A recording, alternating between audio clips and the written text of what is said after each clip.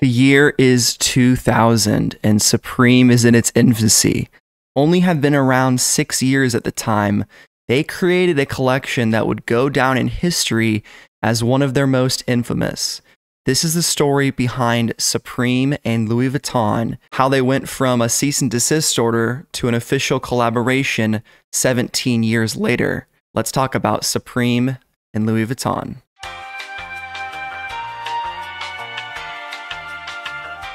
So the year is 2000. Supreme has been around for six years, started in 1994. They're an upstart skate brand created by James Jebbia. People are starting to notice them. They're creating these cool designs. A year later, they would go on to release the 911 box logo. They were just still starting out. In 1997, they created a Burberry logo, taking the check print and putting it on a box logo t shirt. Burberry did not actually reach out for any official lawsuit because it was only in their third year it could have actually flown under the radar for the larger British fashion house. But in 2000, Supreme was able to catch the attention of French fashion house Louis Vuitton LVMH Corporation, and they were not happy that Supreme had created a monogram print emblazoned with the Supreme S in place of the LV. This collection was incredibly sick, releasing skateboards, beanies, and t shirts emblazoned with Louis Vuitton's design in the iconic brown and gold and other similar colorways. Today,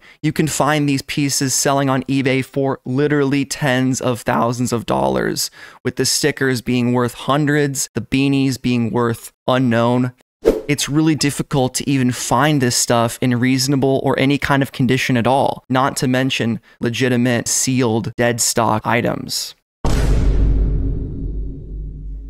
It's crazy because when you think about fashion today, streetwear and fashion, I'd say in a big part thanks to Virgil Abloh, who was the creative director at Louis Vuitton. Now you see Supreme and Louis Vuitton collabing in 2017.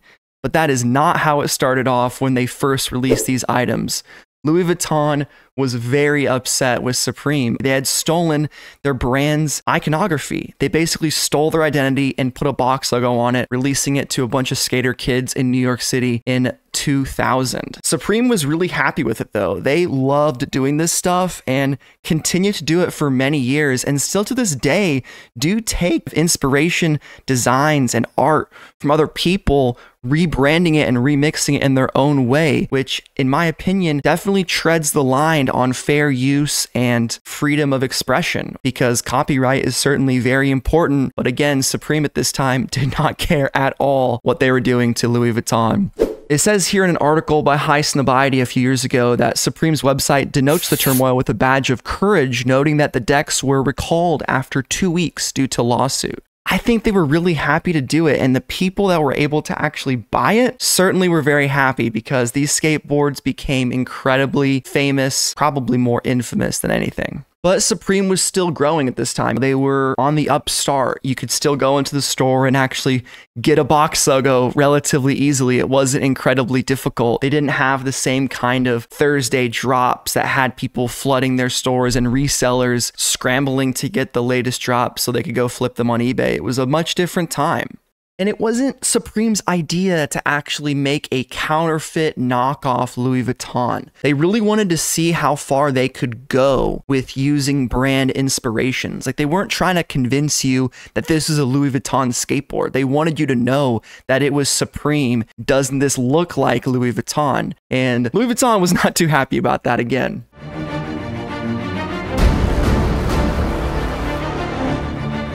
I think this collection is incredibly important and really interesting to look back on the historical significance. When you ask the everyday person what is a high fashion brand, they might mention Gucci, Prada, but they'll probably say Louis Vuitton before anything else. Something about the brand's design, the LV, the monogram print, the leather, the colors, it's incredibly timeless, stylish, and exceeds the name fashion. But going back to the Supreme Collection, they released a series of items again beanies, t shirts, skate decks, and box logo stickers, and I think they're incredibly sick. The beanies are probably the most unknown sleeper item from that collection.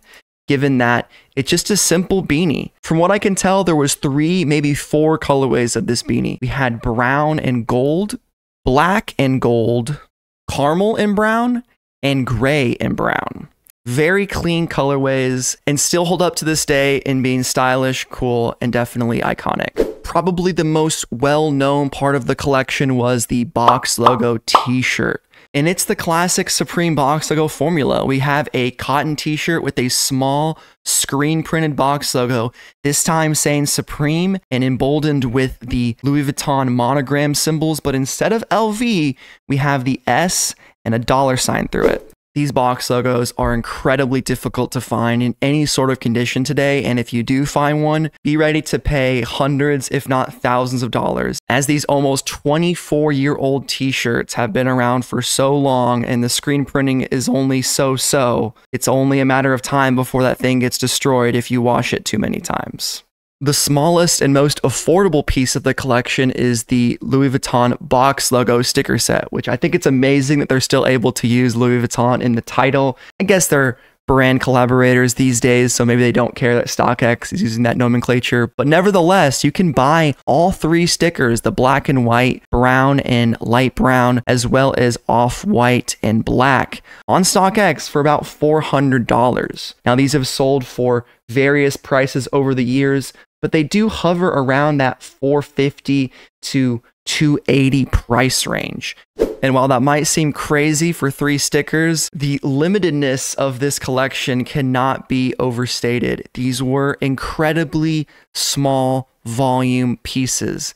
And after having a cease and desist after only two weeks of production, and remember, this is not modern Supreme. People were not lining out the door to go buy this stuff. They were just releasing it and putting it in the store. They did not even have a website at this point. This was all sold at one store in New York City six years after the brand's inception. Finally, we're to the skateboard set and my personal favorite part of the collection. I think it has to do with just the pure amount of surface area involved and just how good it looks, especially when you can see the rare, sealed, or at least brand new sets that have never been skated. Still, a lot of them do have some paint chipping and wear, just because even storing this stuff in plastic over 24 years can lead to a little bit of damage and a little bit of wear but these pieces have sold for as high as $30,000 for the entire set. I would say today that's like a floor price. Of course, the aftermarket price is always a combination of what the buyer is willing to pay and what the seller is willing to take, but it's no question that these things are far beyond the $10,000 price range when you put all three of the skateboards together. Again, the three colorways are that dark brown and light brown, the kind of iconic Louis Vuitton spec. We have the light cream and black, and then the black and cream, kind of a flip on those two colors right there. So those were the original items that Supreme ripped off from Louis Vuitton. And after only production lasting for two weeks, Louis Vuitton reached out to the brand and told them to immediately stop production and to destroy all remaining stock. Now, I don't know what happened to that remaining stock, if it was backdoored or actually just destroyed. I don't really know, and I think it'd be pretty tough to find out unless we ask James Jebbia himself. But 17 years later, the brands would make contact yet again. No, no, no, no, no, brother. I appreciate you. This sounds like a new opportunity. 17 years later, Supreme and Louis Vuitton have now announced their official collaboration at Paris Fashion Week in January of 2017. This collection is a literal example of how far streetwear and high fashion have come to now both respect each other on an equal playing ground. The collection is too big to even get into specifics. We had trucker jackets, skateboards, accessories, trench coats, jerseys, hoodies, box logos, pants, jeans, crew necks. Literally every single piece you can imagine Supreme and Louis V came through with absolute fire, and this is one of the most sought after, expensive, exclusive collections Supreme has ever released. And yes, I am very salty. I never copped any because in 2017 I was in college and a hashtag broke boy. It's really amazing how a brand can go from kind of a cultural niche in a New York skate shop on Lafayette Street, founded by a British guy who just liked to say fuck them, getting the attention from French fashion houses, sending cease and desist letters to stop producing merch that looks like our logo, to then releasing $1,000 trunks with the same brand 17 years later. It's really incredible to kind of see the story of Supreme and Louis Vuitton.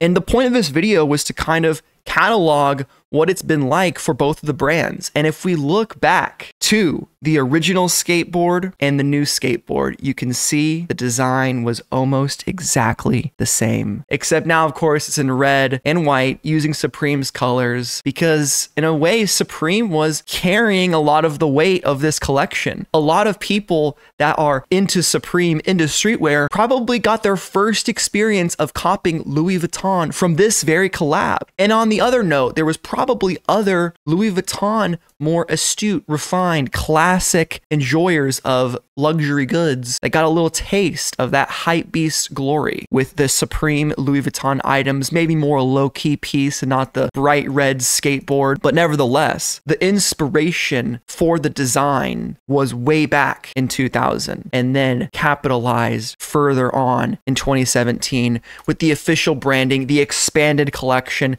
and now with Supreme being a household name, people lining out the door, weekly drop lists, bots, all the craziness of the late 2010s. We saw them flesh out an entire collection that goes beyond just a t shirt, box logo, beanie, and skateboard, which at the time was extremely impressive, but nowadays would be looked at as a simple and small collection.